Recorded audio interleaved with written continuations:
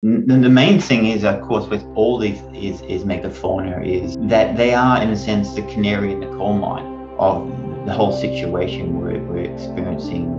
on the planet and have intrinsic rights to survive as individuals in the species, just as we do. And so, without um, the necessarily expansion of the moral imperative to protect other persons, even non human persons, we were not going to be able to su- survive as a species on, on this planet.